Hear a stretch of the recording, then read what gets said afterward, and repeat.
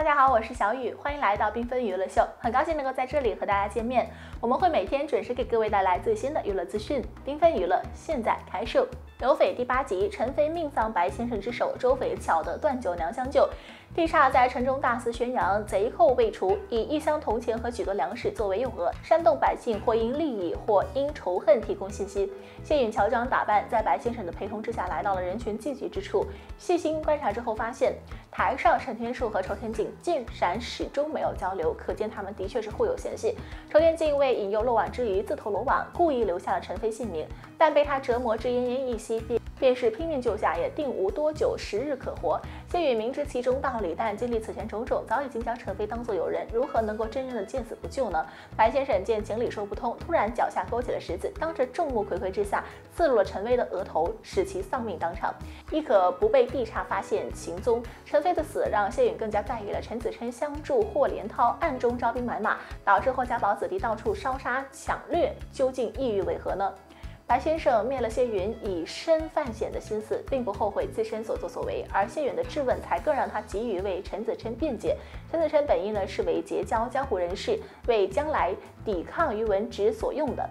霍家堡鱼龙混杂，底下之人所作所为实难控制。谢允为并不需要白先生的推诿之词，只需他明白方才之人是在为谁受过，又在为谁而死。陈飞命悬一线，周匪若是得知，必然是爬也会怕来相救。可他没有出现，让谢允心中升起不祥之感。谢允双脚如千斤重，却还要回转寻回周匪的下落，却一时情急攻心，口吐鲜血。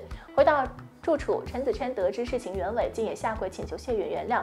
事已至此，谢允为不想再责怪任何人，原本陈飞的死也是定数的，早日解脱也未必不是好事。谢允当堂下跪，以酒祭奠。他现在唯一能够做出弥补的，便是找到周匪的下落，护其平安。眼下地差两方各自搜索陈州每家每户。朝天镜关注吴家子女，而沈天树呢，则是更为关注这个户籍清查，命手下以画像寻找可疑男子。谢允不用猜想，便知沈天树的目标就是陈子琛。当初呢，此地只是陈子琛和霍连涛联络之地，后发生变故，他也无法眼睁睁地看着刘明困难不管。便执意的留在了城中为百姓发粮，就连百姓也知华容安全。沈天树又如何会不知道此地便是陈子申藏身之地呢？所幸户籍之事呢早已经准备妥当，陈子申藏身书柜暗格，由白先生和谢允以及一位手下假扮父子三人。前一刻刚躲过仇天镜人马的探查，便又迎来了沈天树的人马。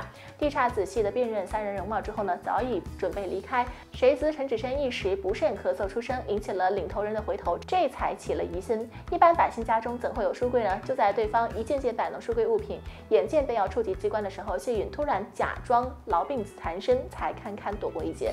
陈子申的军队驻扎在不远之处，七八日便可赶到。若是得知皇子被困的话，必然会出兵营救，这是沈天树目的所在。地煞和于文止勾结，皇子在敌军的地界出事，足以让于文止大做文章，这也是谢允担心的根源。目前形势不利，谢允心生一计，由陈子申派人送信前往霍家堡，且务必让地煞看到信进了霍家堡。仇天镜听命于文止，而沈天树呢又素来与仇天镜不和，虽不知谢允此举究竟意欲为何，但他自信。机会很快就会到来。周匪之所以没有出现在城中，乃是被后院的红衣女子牵绊了脚步。此女子呢，一步不让，免他出门涉险。更在周匪出手之后呢，认出了破血刀。周匪被对方轻易的定住了身形，又见他询问李逵，倒也不曾欺瞒。谁知红衣女子呢，竟扬言是他的后外祖母。周匪不知为何一口鲜血，昏迷倒地。待醒来之后，才在吴楚楚的口中得知，那红衣女子啊，便是李景荣口中曾经提到的关西枯荣手段九娘。周斐始终无法相信，眼前这个疯疯癫癫的女子，竟然是江湖上赫赫有名的女侠。二人还是从段九娘身边细心照顾的仆人口中得知的。当年他家公子呢，也不知得罪了何人。